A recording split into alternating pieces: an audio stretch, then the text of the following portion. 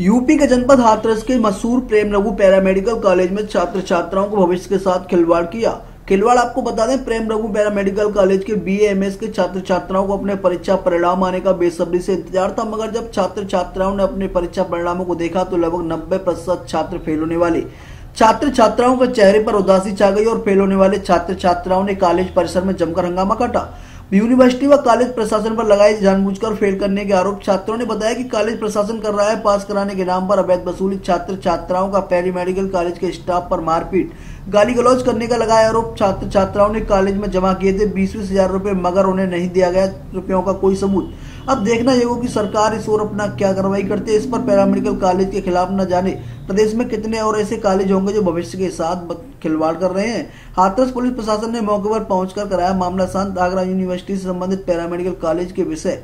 Anatomy में लगभग सभी छात्र हुए fail. Bureau report, Ramkishan Sharma, Hathras, UP. इन्होंने हमसे बीस हज़ार रूपए लिए थे। बीस हज़ार बोला था कि हम आपको सप्ली में पास कराएँगे कोई सप्ली में पास नहीं कराया। इन्होंने यूनिवर्सिटी फ़ीस जबकि पाँच हज़ार रूपए है। इन्होंने पाँच हज़ार रूपए की जगह बीस हज़ार रूपए लिए। चलो हमारे पेरेंट्स ने वो भी दिए। हमें पता है कि हमारे पेरेंट्स कहाँ से पैसे ला के देते कैसे किसी के पापा कुछ करते किसी के पापा कुछ करते ये तो यहाँ बैठे रहते अपनी प्रॉपर्टी कमाते रहते हैं। और सारे सारे टीचर मिलकर लड़कियों को गंदी गंदी इस लड़की को मेरे को सबको गाली दी इन्होंने। गंदी गंदी गाली देते प्रोस्टिट्यूटर बोलते सबको। कौन सा कॉलेज है और जो आप आपने आज यहाँ पे जो करा है किस चीज़ को लेके किया ये उन्होंने हज़ार इन्होंने कारण दी थी कि हम तुम्हें पास कराएँगे क्या पास कराए इन्होंने? तो पास कराने के लिए बीस हज़ार रूपए हाँ पाँच हज़ार पाँच हज़ार रूपए फ़ीस है यूनिवर्सिटी जब एग्ज़ाम उसकी की फ़ीस तो। हमने ना बीस हज़ार रूपए दिए अपने और एक ही सब्जेक्ट पे। दो लाख और दो लाख चार लाख छह सौ मेरी दो लाख पैंसठ हज़ार जा रही है उसके जिम्मेदार कौन होगा? वो दो लाख पैसा वहाँ पे पड़ा बेहोशी हालत में कोई नहीं आया था इतनी देर से देखने यहाँ इस मेडिकल कॉलेज में बच्चे हंगामा कर रहे हैं। क्या कारण है सर? बच्चों का आरोप मतलब बड़े आरोप भी लगाए जा रहे हैं कि उनसे फ़ीस भी एक्स्ट्रा की जा रही है जानबूझ के फ़ीस फेल कर दिया है और लड़कियों से अभद्र व्यवहार किया जाता है स्कूल प्रबंधन द्वारा।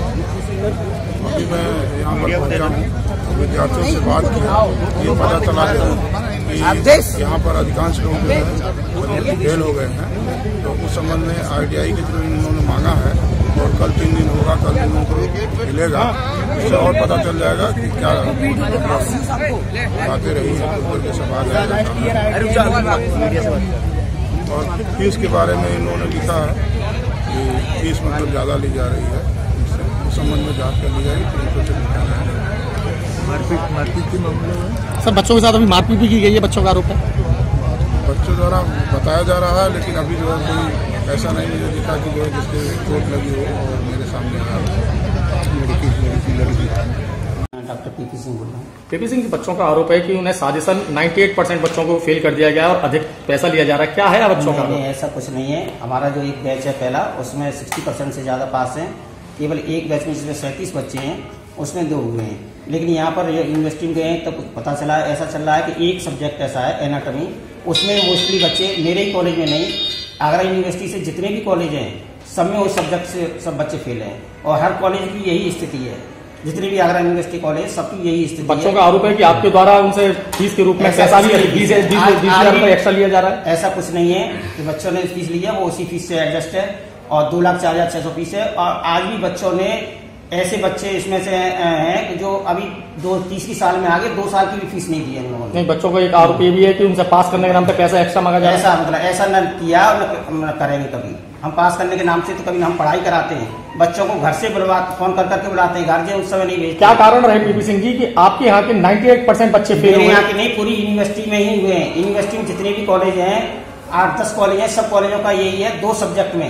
ये किसी या तो एग्ज़ाम क्या यूनिवर्सिटी के इन कॉलेजों में पढ़ाई नहीं होती है? हाँ पढ़ाई होती है लेकिन एक ही सब्जेक्ट में क्यों हुए हैं इस बात को देखिए एक ही सब्जेक्ट में हर कॉलेज में एक ही सब्जेक्ट में हर कॉलेज में फेल हुए हैं। चाहे चाहे एक एनाटमी है एक रस्सा सब्जेक्ट है उसमें फेल हुए हैं।